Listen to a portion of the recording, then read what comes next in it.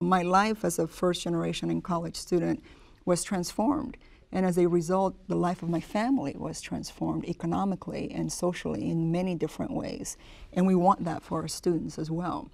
So it has to happen both ways. We have to understand the student and the student needs and make sure that we're not saying you have to be ready for, for the university, but we are a university that is ready for its students.